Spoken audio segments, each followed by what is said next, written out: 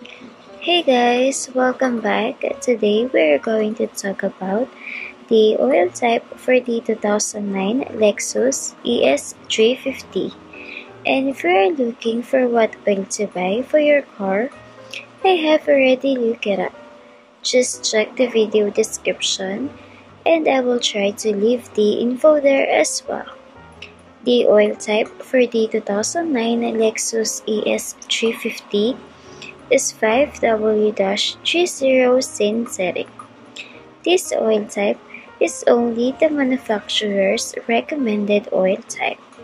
Keep in mind that the type of oil could change depending on the year and mileage of your car. You can change your oil as often as every 3 months or you can ask your mechanic for the recommended oil type and frequency of changing your oil. So once again, the oil type for the 2009 Lexus ES350 is 5W-30 setting.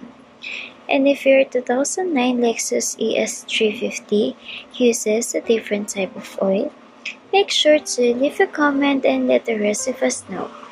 Don't forget to check the video description for the most recent price. Thank you for watching. Please like and subscribe.